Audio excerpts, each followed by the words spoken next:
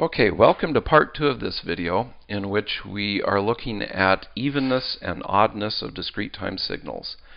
In part one of the video, we looked at the delta function and we looked at the unit step function. In this part of the video, hopefully we'll be able to uh, look at the rest of these functions. Um, we should have enough time to do that. So um, we just to remind you, we discovered that the delta function is an even function. The unit step function is neither even nor odd, and so we decomposed it into an even component, this guy here, and an odd component, this guy here. Okay, so let's look at our next signal. If you graph this signal, it looks like this. Uh, for a value of n of minus 1 it has a value of 1, then a value of 2 at 0, 3, 2, 1, and so on, and zeros for any value of n less than minus 1 or greater than 3. And so the first question we have to ask ourselves is, is this an even function? And if it's going to be an even function, then I should be able then I'd be able to say x of n is equal to x of minus n.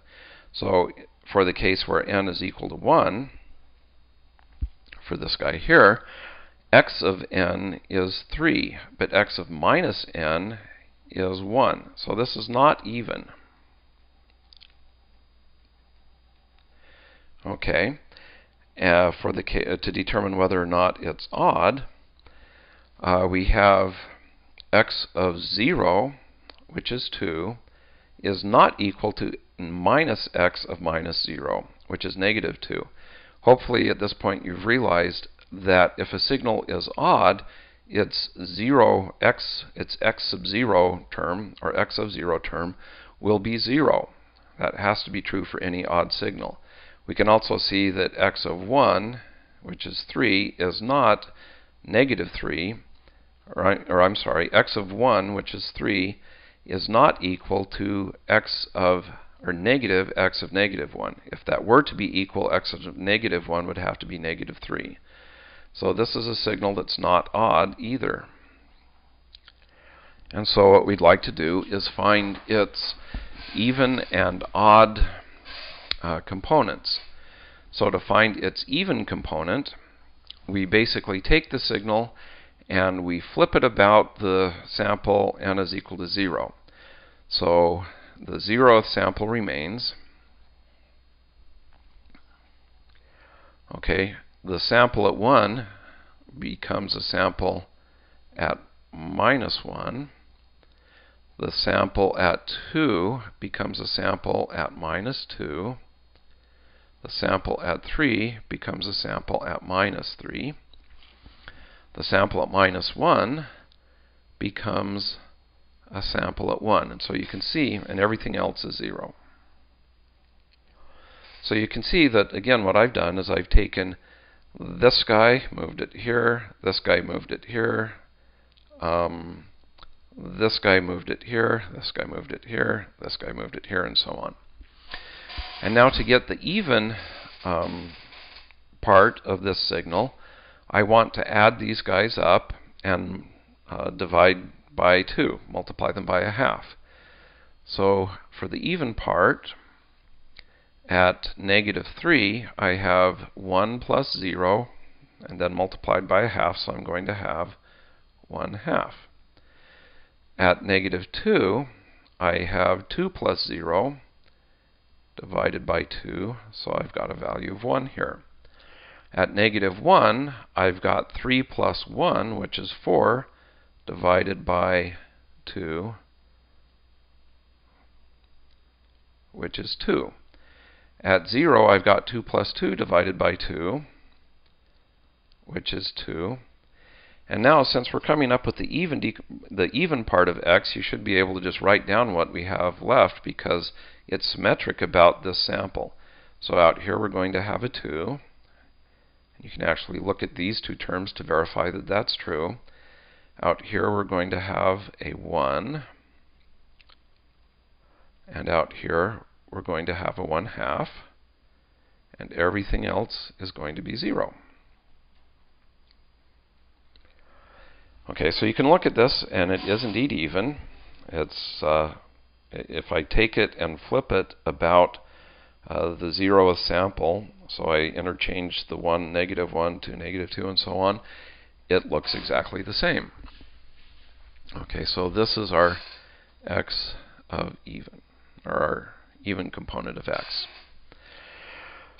Okay, well, um, I'm going to erase this. Fortunately, this is video, so if you want to see it, just back up and pause. And uh, let's find now the odd component of x. Okay. Well, if we start here at negative 3, uh, we would have x of negative 3, which is 0, minus x of 3, which is 1, which I've drawn here. So we'll have 0 minus 1, and that's multiplied by 1 half. So we'll have negative 1 half. This is at negative 3. At negative 2, we'll have 0 minus 2 times 1 half. So this guy goes to negative 1. Here we'll have 1 minus 3 times 1 half, which is again negative 1. Here we'll have 2 minus 2, which is good because um, the odd or the the zero uh, value for an odd signal should be zero. Here we'll have 3 minus 1 times 1 half, so we'll have this. Here at 2, we'll have 2 minus 0 times 1 half. At 3, we'll have 1 minus 0 times 1 half.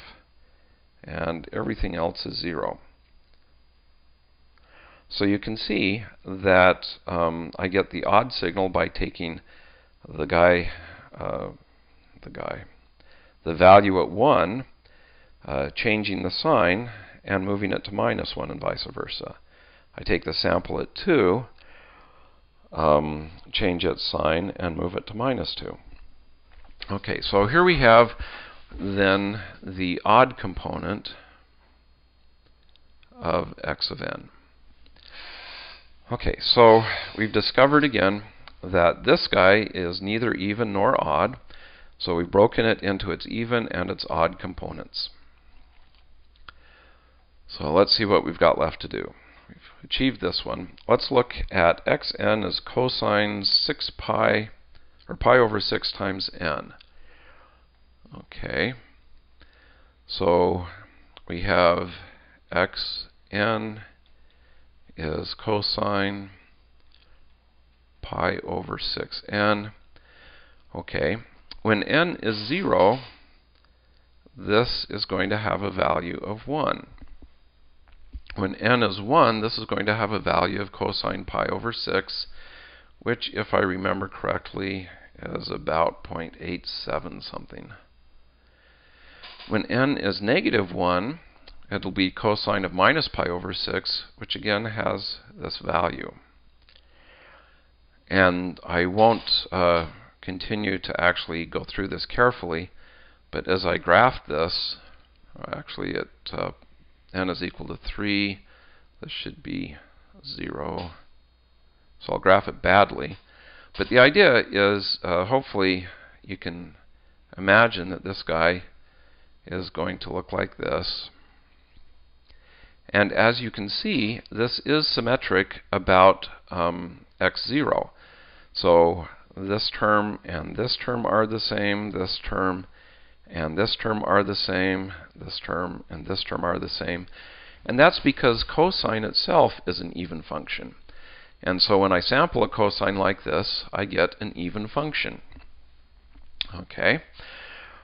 Um, the next one that we were or that we're going to do is xn is equal to sine of pi over 6n. And if I start graphing this guy, for n equals 0, the sine of 0 is 0. For n equals 1, it's the sine of pi over 6, which, I'm sorry, this is 0. This is 1. And again, without going through it in detail, um, and graphing it again very badly, you get something that looks like this.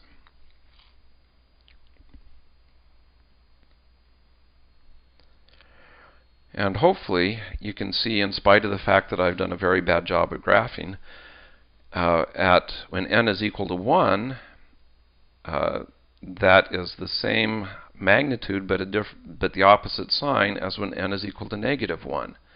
So that means that this function is odd. And it's a consequence of the fact that the sine function is odd.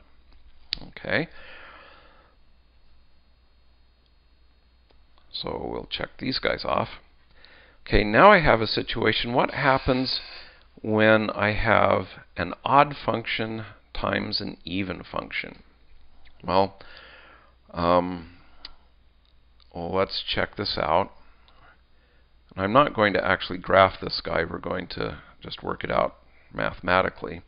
Using the fact that we've already discovered that sine and cosine are odd and even respectively. So if I have x of n is equal to sine of n cosine of n, okay, and I want to see what x of negative n is. This is another way of checking to see if a function's even or odd. I just take n here and replace it by negative n. Well, this is going to be sine of negative n cosine of negative n. Now we just determined that cosine is an even function, so this is going to be cosine of n. Sine is an odd function, so this will be minus sine of n. Okay, so I have x of negative n is equal to negative sine of n cosine of n. But this guy here is our original x of n. So I have x of negative n is equal to x of n. That means that this guy is odd. And it turns out that that's true in general. The product of an even and an odd function is odd. Okay. Well, let's see. We'll do the last of these very, very quickly because I'm already out of time. So let's do the sine of n squared. Um, it turns out that this one is fairly easy to do if you say, well, x of n is the sine of n, that whole thing squared. And you can use a trig identity to write this as 1 half minus 1 half cosine 2n. Okay, so let's see what happens if I have x of minus n. This will be 1 half minus 1 half cosine of 2 times minus n. But I just showed, or we haven't showed, but we talked about the idea that cosine is even, so this is the same as cosine of 2n. So 1 half minus 1 half cosine of 2n is the same as what we have up here. So I have that x of minus n is equal to x of n. Okay, so this is even. But sine is an odd function. I'm multiplying it by itself, so I have the product of two odd functions, and I've shown that the product of two odd functions is even. It also turns out that the product of two even functions is even. Okay, well, um, I'm out of time. Hopefully this has been a useful introduction to the idea of odd and even signals. Thanks for watching.